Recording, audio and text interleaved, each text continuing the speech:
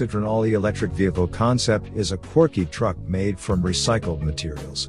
The vehicle uses cardboard for some body panels, showcasing what an affordable, sustainable EV could look like.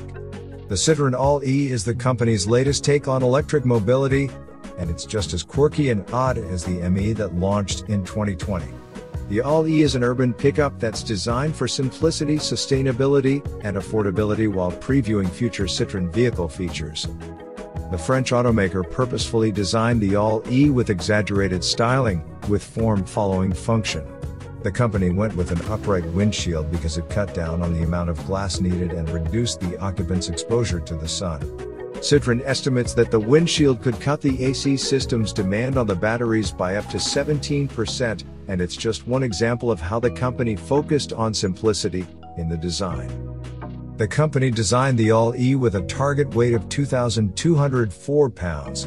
With its 40 kilowatt-hour battery, the EV has an estimated range of 249 miles. The battery can charge from 20 to 80% in 23 minutes while supporting vehicle to grid and vehicle to load capabilities. Citroën limits its top speed to 68 miles per hour, focusing on urban mobility and not high performance. The car even features the company's new logo.